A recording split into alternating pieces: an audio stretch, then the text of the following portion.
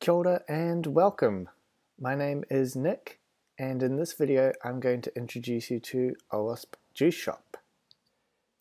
OWASP Juice Shop is an example web application which has been built with some intentional bugs in it, some security bugs. The challenge for you is to discover as many, as many of these bugs as you can and in the process learn how you might detect similar bugs in your own applications. Um, I was going to be giving a talk at OWASP Wellington about how to store your users' passwords, um, but given recent events and everyone being in lockdown, I figured it would be fun to find a hands-on way of learning about security, um, maybe something a bit more fun. Um, but if you do want to check out that talk, I gave it at the OWASP conference in February, and I'll put a link to the slides uh, in the notes below. So OWASP Juice Shop. OWASP is um, the Open Web Application Security Project. They have a lot of projects. One of them is OWASP Juice Shop. It's completely free. It's easy to run. It's pretty fun. I use it a lot when I give developer training in my day job. Um, before we have a look at that, I will just quickly show us what the OWASP top 10 are. So the OWASP top 10, if you haven't heard of them, is um, 10 really common web application security risks. So we're talking things like SQL injection, uh, broken authentication, sensitive data exposure. Uh, these are the top 10 things that the industry has kind of agreed on as being uh, both bad and really common. Um, and OWASP Juice Shop has been designed around the OWASP Top 10 so that you can see how these kind of play out in a real life example web application. If you want to get started um, really fast, the way to do that is just to Google OWASP Juice Shop. And on this page, you can see a link on the right to an online demo. So you can just open that in a new tab, and here we've got Juice Shop www.herokuapp.com. Gives you a little welcome message, so we'll ignore that. Uh, we'll accept cookies because everyone accepts cookies. And here we have the latest version of OWASP Juice Shop running in our browser. Uh, so this is shared with everyone on the internet. Um, so some of the challenges have had to be disabled, but quite a few of them you can do on your own. Um, but if you just take a quick look around, you know, you can see you can buy some juice, you can see some reviews. Doesn't seem like there's a whole lot of functionality before you're logged in. You can look at some customer feedback. There's a scoreboard link there. You can search apples. Get some apple juice. Uh, but what we're going to do is we're going to spin up our own juice shop instance. Um, means we can have a little bit more fun and not worry about what other people on the internet might be doing with this intentionally vulnerable web app. So I'm going to Google OWASP Juice Shop. Second link for me is this GitHub link. That's the one you want to look for, GitHub. GitHub Juice Shop. And if we scroll down here, we get to the README. Um, and there's this purple button here, deploy to Heroku. So this is a free way to deploy it in one click to um, a cloud platform where you'll get your own instance. So we're going to click on that.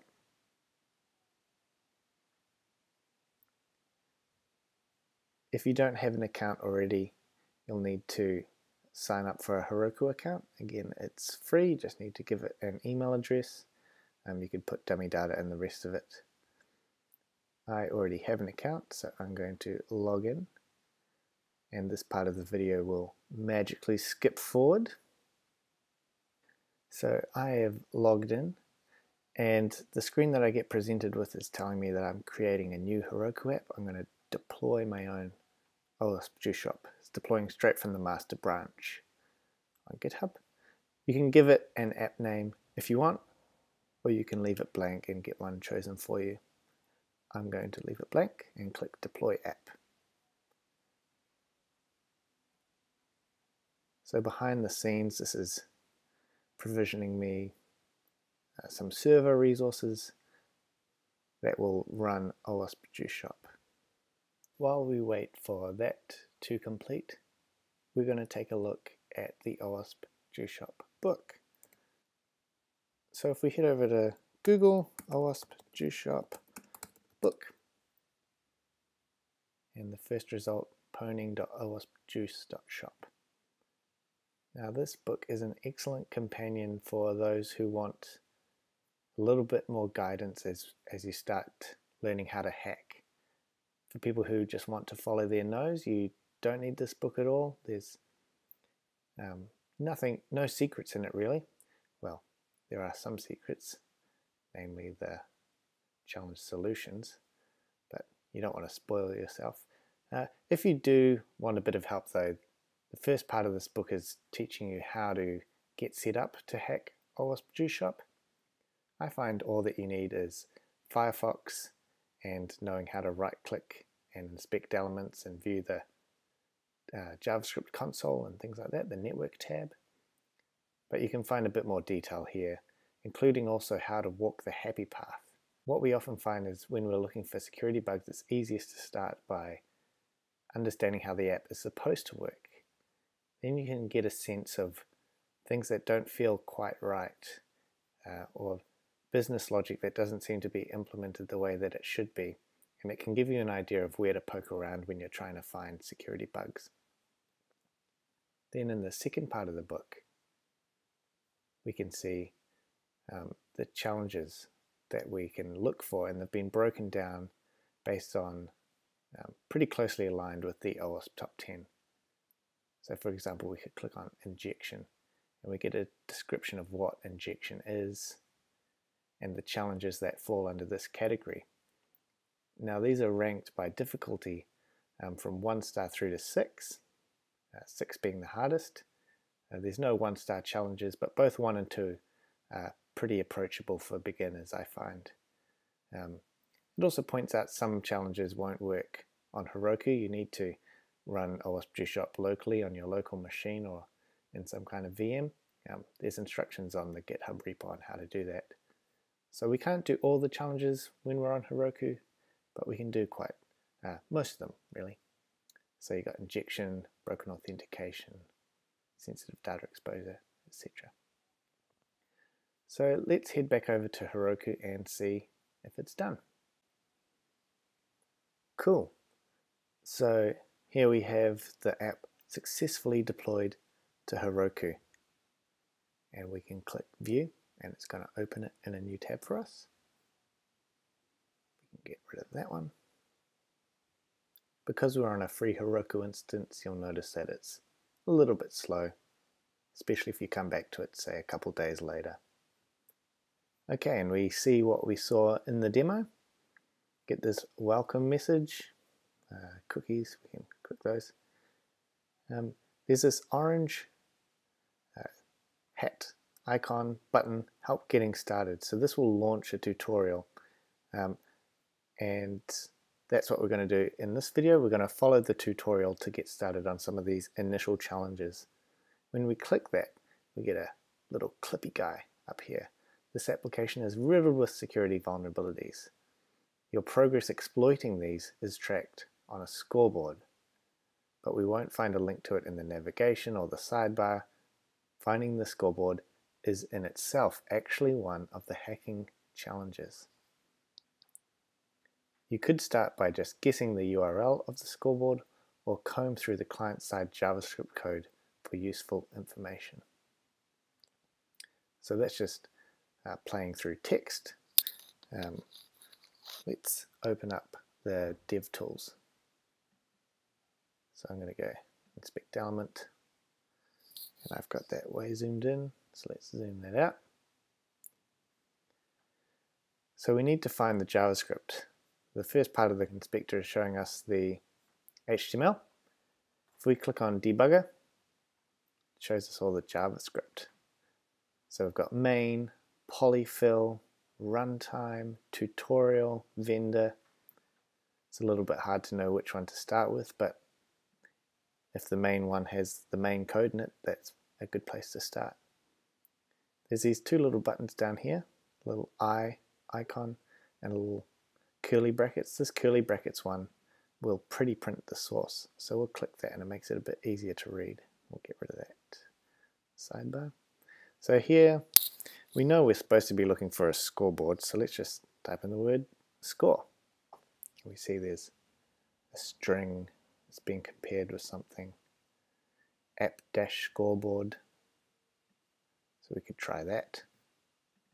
See what happens. Doesn't look like that worked, so we'll keep looking. Path scoreboard.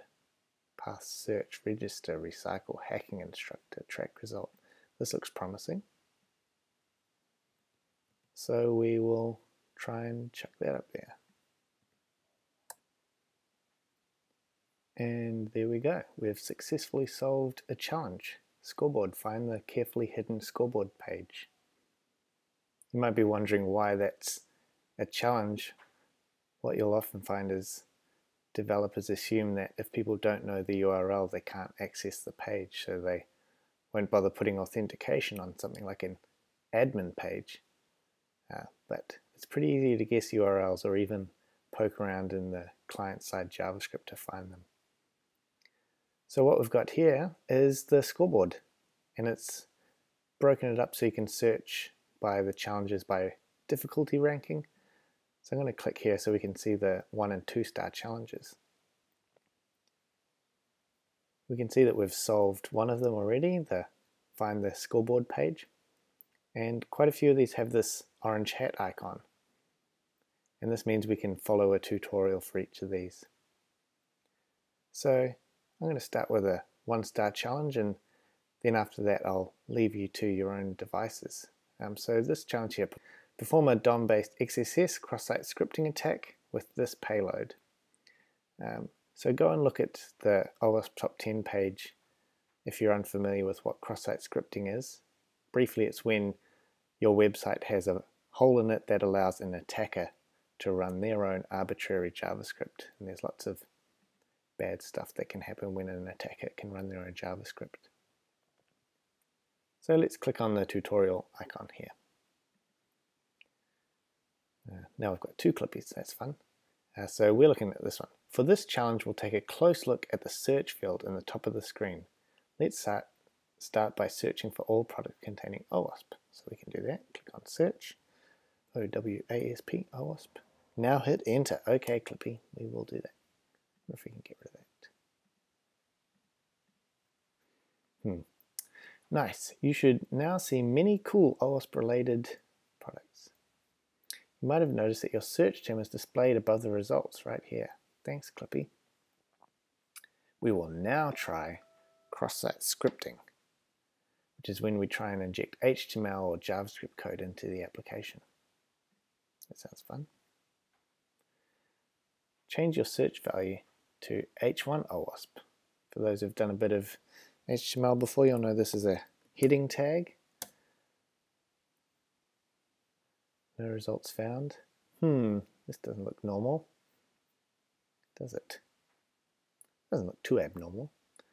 Um, but if we right click here and go inspect element, you can see that this is actually being rendered in the HTML as an H1 tag.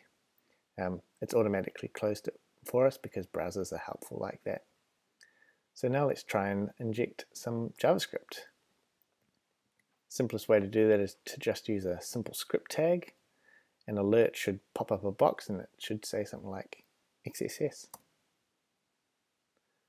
Oh, but this didn't work. It's not executed for some reason. Hmm. Luckily, there are many different cross-site scripting payloads we can try. Let's have a look at this one. Hit enter one more time. If an alert box appears, you must confirm it in order to close it.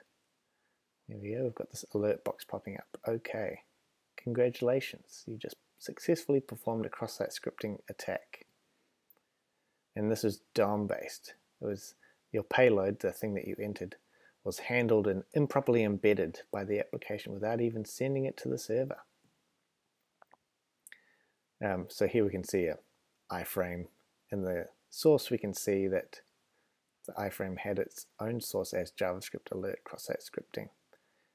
So then there's a question about why did this one work and not the simple script one. Could be that there's some um, validation going on in the search box where they say, well, if you try and enter a script tag, we're going to stop you. But they didn't check for things like having JavaScript within the source attribute of an iframe tag. And again, it kind of comes back to if at first you don't succeed, you can try a whole bunch of different things and see what payloads work. You can get lists of um, valid cross-site scripting or SQL injection payloads on the internet. You can get tools like Burp Suite or OWASP Zap to automatically fire them at inputs. Um, you should only ever run those tools at websites you're allowed to um, because that counts as real hacking and you don't want to go to jail. Um, anyway, back on the scoreboard, we can see that we have successfully performed a DOM-based cross-site scripting. And we get a nice tick. And now I'm going to turn it over to you. So thanks for watching the video. Um, I hope you have fun solving some of these other challenges. Remember there's the book to help guide you through if you need it. Um, and check out the OWASP Wellington meetup page. Um, once we're out of lockdown, join the group and you'll get notified about when we start our meetups again. We might even try something uh, virtual like this again. Um, thanks for listening. I hope you have a fun time with OWASP Juice Shop. Ka.